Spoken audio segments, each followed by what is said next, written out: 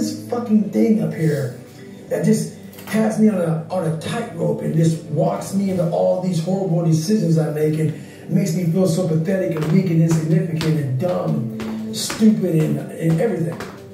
I gotta get control of this thing.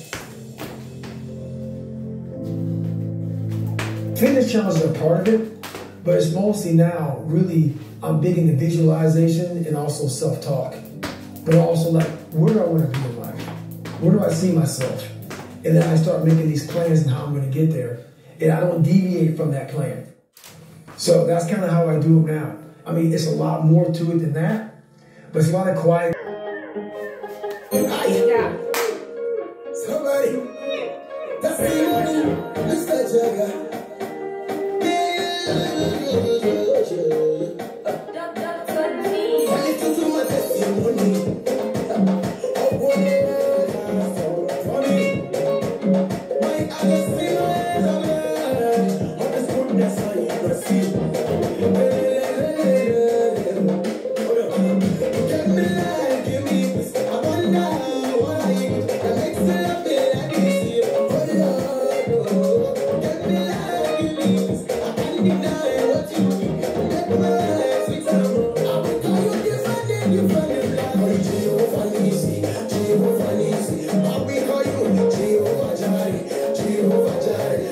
Jireh.